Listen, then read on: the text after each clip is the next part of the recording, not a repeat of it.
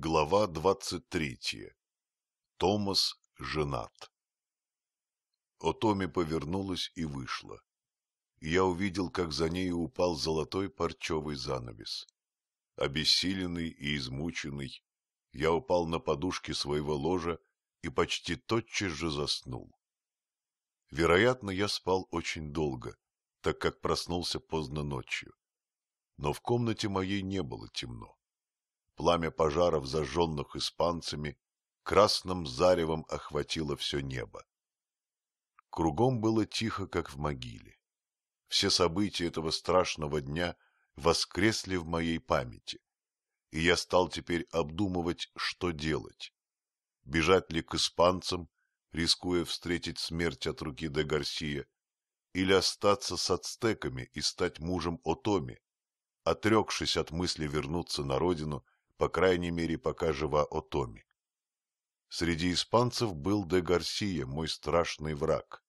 Он был одним из них, и, следовательно, его друзья были моими врагами. Ацтеки же, будучи моими друзьями, становились одновременно его врагами и врагами всех испанцев. И уже одно это заставило меня склониться на сторону ацтеков. Таковы были мои рассуждения, но решила за меня сама судьба. В то время, когда я обдумывал эти вопросы, в комнату вошел Гуатемок. Он был бледен, изнеможен и, видимо, сильно страдал от раны, полученной им в последнем страшном сражении на Теукале. — Приветствую тебя, Тейль, — сказал он. — Я пришел звать тебя предстать перед советом. Какая участь готовится мне, принц? Ты сегодня ушел из рук жрецов, и они не притронутся к тебе. Но совет решить, быть ли тебе одним из наших и вознестись на высшую степень почета, или же умереть. Атоми сделала все, что могла, чтобы заручиться расположением советников и добиться от них благоприятного решения. Если у тебя есть душа, Тейль, ты должен быть ей благодарен так как ни одна женщина не может любить так, как она. Пойдем же, друг, нас там ждут. Я последовал за принцем в большую залу совета. Здесь собрались все оставшиеся в живых представители родовитейших фамилий. Некоторые были в скромных обычных одеждах, другие — в полном боевом одеянии, а один — в одежде жреца. Они сидели полукругом на подушках, а в центре этого полукруга я заметил человека мрачного, но величественного вида в стальной кольчуге и керасе. Это был Куитлахуа, который после смерти Монтесумы должен был стать императором. — Скажи мне, Гуатемок, племянник мой, кого ты нам привел сюда? — спросил он. — А, это тот Тейль, что был богом Тецкотом до сегодняшнего дня. Почтенные советники, к вам обращаюсь я. Мы должны решить немедленно участь этого человека. Законно ли будет возложить его вторично на жертвенный камень? Нет, — послышались голоса. Даже сам жрец поднялся и сказал, — Если хотите, убейте его, но на жертвенный камень класть второй раз не должно. Человек этот по крови Тейль, стало быть, наш враг. Мы не должны допустить, чтобы он бежал к ним и рассказал им о нашем бессилии и унынии. Решайте же его судьбу, братья, так как нам нельзя терять много времени над этим вопросом, когда тысячи жизней наших братьев зависят от решения нашего совета. В ответ поднялся Гуатемок. — Я того мнения, братья, — начал он, что если мы пощадим жизнь этого человека, который и не Тейль, а человек другой белой расы, ненавидящий Тейли также, мы ненавидим их, то он, зная их язык и обычаи, а также их манеру вести войну, сумеет быть нам очень полезен своими советами и указаниями. Кроме того, я ручаюсь своей жизнью, что он человек честный, благородный и предателем никогда не будет. Жизнь твоя, Гуатемок, племянник мой, имеет, конечно, большую цену. Но кто может поручиться за белого человека? Все они живут ложью и обманом, и слово их не имеет цены. Не лучше ли казнить его и разом положить конец сомнениям? Помните, братья, что он повенчан с Отоми, принцессой и вождем племени Отоми. Я знаю, что она тоже готова поручиться за него. Разреши, дядя, призвать ее сюда. Пусть она сама скажет в присутствии всего совета свое слово. Призови ее, если хочешь, но женщина, которая любит человека, слепа и плохой судья. А женою его она была только в силу религиозного обряда. Большинство голосов высказалось за то, чтобы принцесса была призвана на совет. Она вошла, царственная и величественная, в своем торжественном одеянии и, встав перед советом, поклонилась собранию. Куитлахуа сообщил ей, в чем дело, и спросил, готова ли она поручиться за этого чужеземца. Единственной порукой со стороны женщины могло быть только то, если она согласится взять его себе в мужья. Если он согласен стать моим мужем, то и я согласна взять его в мужья и поручиться за него своей жизнью, — отвечала Отоми. Но пусть он сам скажет свое слово. В его ответе нельзя усомниться, когда выбор предстоит между казнью и супружескими объятиями такой женщины, как принцесса Отоми, — сказал Куитлахуа. — Говори, Тейль. — Что я могу сказать? — ответил я. — Я, конечно, рад стать ее мужем. Сама судьба соединила нас с ней сегодня на жертвенном камне. — Помни, — произнесла Отоми, — что для тебя этот брак значит отказ от твоего прошлого. Помню и знаю. — Я слышу, — сказал Куитлахуа, — что ты готов стать мужем принцессы Отоми и тем спасти себе жизнь. Но скажи, чем ты докажешь нам, что мы можем на тебя положиться и что ты не предашь нас испанцам? Я ненавижу их, как и вы. Среди них находится мой смертельный враг, который еще сегодня покушался убить меня. Я готов принести вам клятву верности. Но если этого недостаточно, если вы не доверяете мне, то лучше казните меня теперь же. Я и так уже достаточно выстрадал от вас, и мне, право, безразлично теперь жить или умереть. — Речь твоя смелая, Тейль, — произнес Куитлахуа, председатель совета. — Теперь прошу вас, братья, высказать ваше мнение. Быть ли ему одним из нас и супругом Отоми, или же быть казненным без промедления? Оказалось, что из двадцати шести голосов тринадцать высказались за одно, а другие тринадцать за противоположное решение. И решающим голосом должен был быть голос Куит-Лахуа. Но Атоми предчувствовала, что его слово могло стать роковым для меня, своего возлюбленного, и потому попросила слово прежде, чем дядя решит участь Тейля.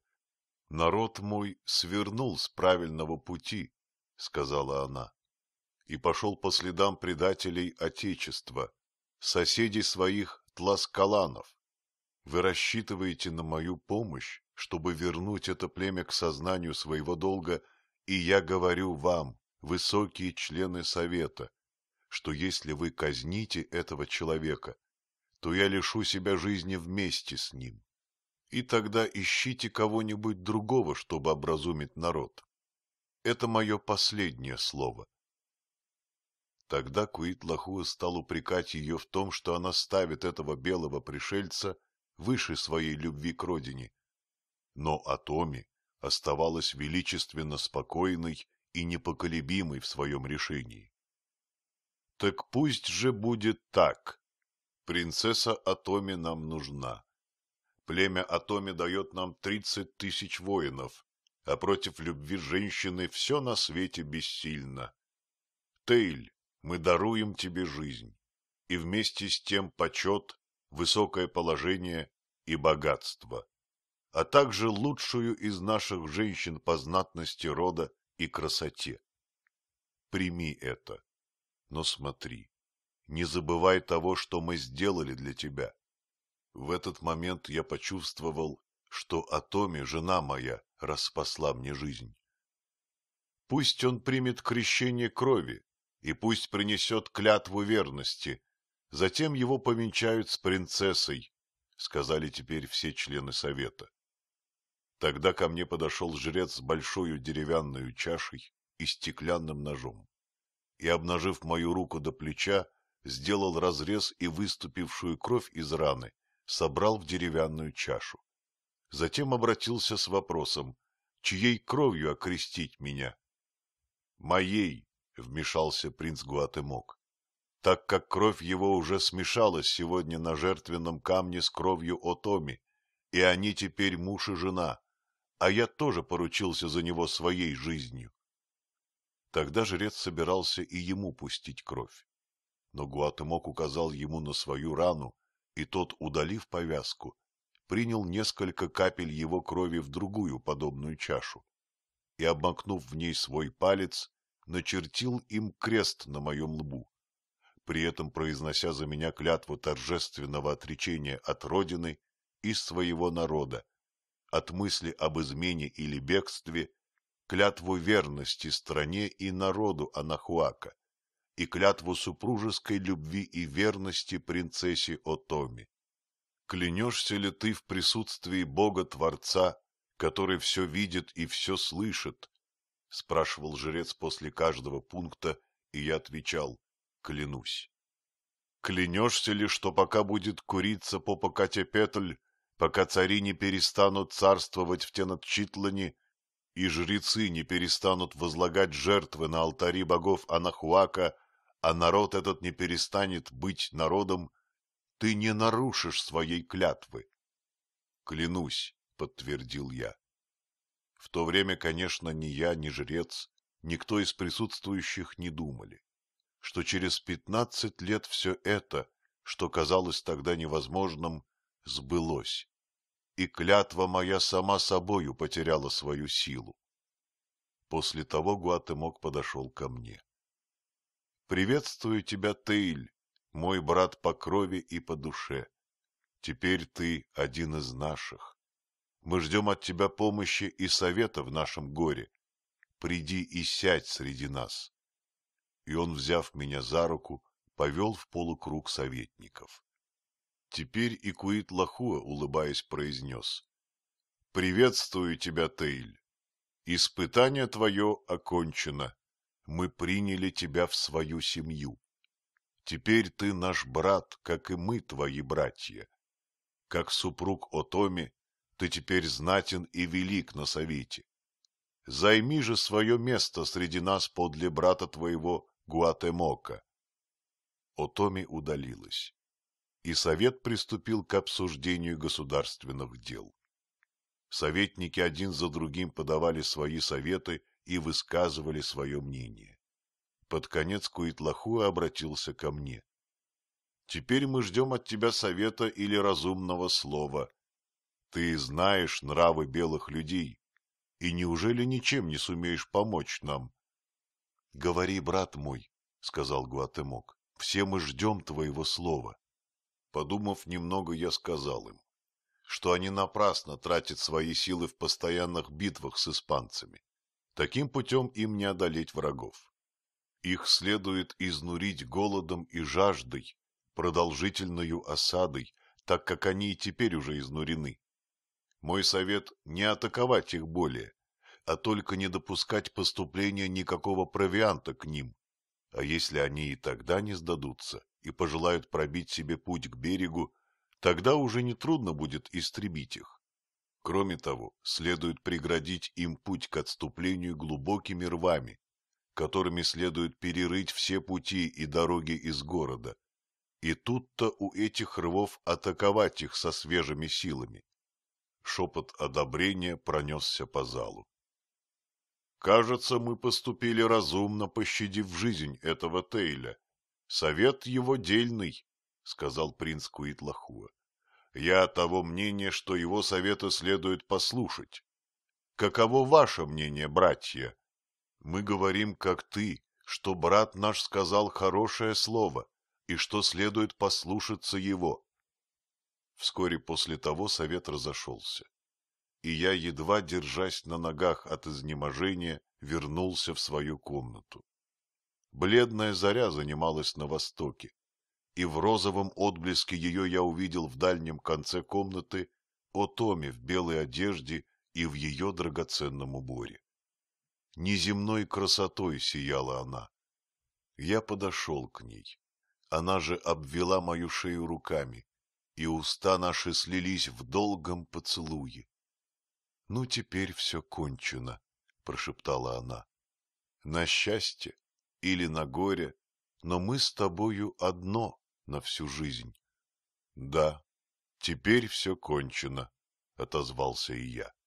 Таким образом я, Томас Вингфильд, стал мужем Отоми, дочери Монтесумы, главы племени Отоми.